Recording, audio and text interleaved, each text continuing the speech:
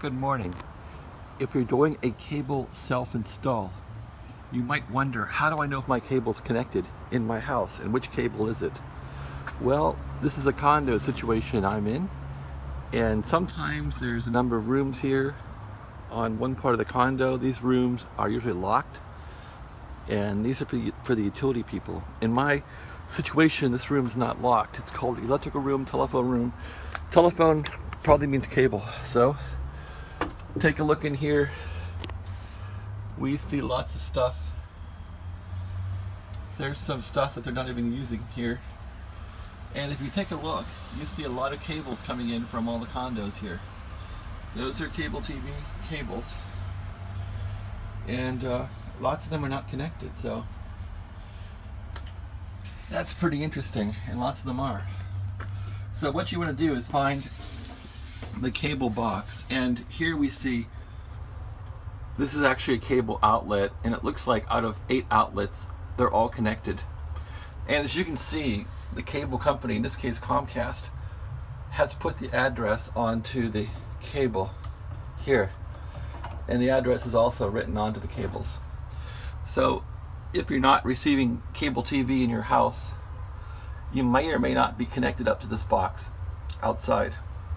And to identify your cable, you might want to find, first of all, if your cable number is on this cable, is the cable connected up to this box? It should be if Comcast came along.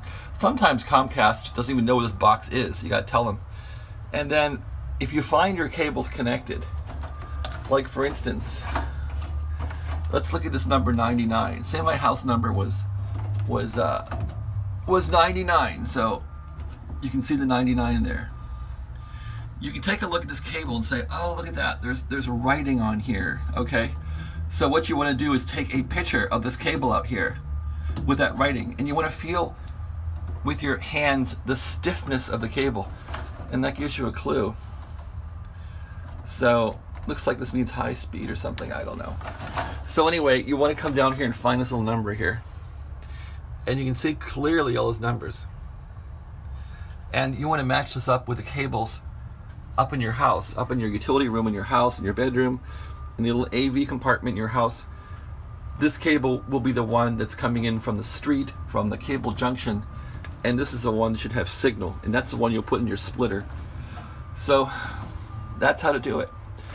And this pipe here from the ground is coming from Comcast cable. This is actually called hardline cable, and this is where all the signals come in in full strength and enter this box, which this box is actually a splitter also, an outdoor splitter. It'll split these all down for your house. So this is how Comcast gets cable into your house or condo. And you'll see this could be on a telephone pole, this could be in a utility room, this could be underground in a box on your street. Depends on your situation. Usually in cul-de-sacs and stuff, this will be on a in a box. In the condo here, it's all sitting around this looks like an amplifier here that uh, the builder put in and nobody used. That's interesting. Uh, what's this?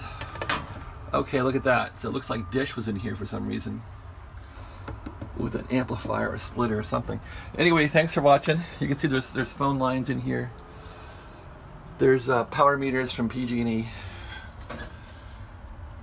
A couple of fuses, probably for the community.